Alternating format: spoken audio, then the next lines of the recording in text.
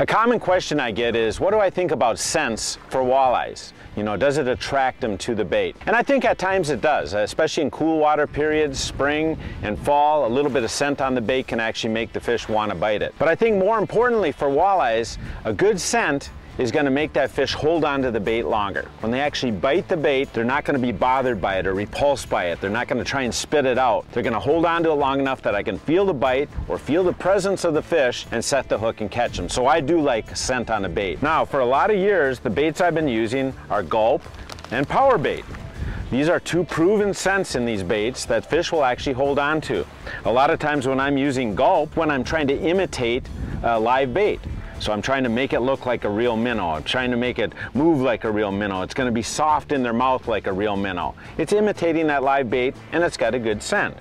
When I go to more of the action tails, when I'm trying to put some vibration down there on the, on the jig with the tail, uh, I go to more PowerBait. I find that that holds that action better, but again, it's a good scent. So whether I'm fishing ripple shads or jig worms or pro shads, there's a whole bunch of different ones out there. That action draws them in, the vibration, but again, when they bite it, it's a good scent. PowerBait's a good scent. Now this last year I was introduced to a new scent. It's called MaxScent.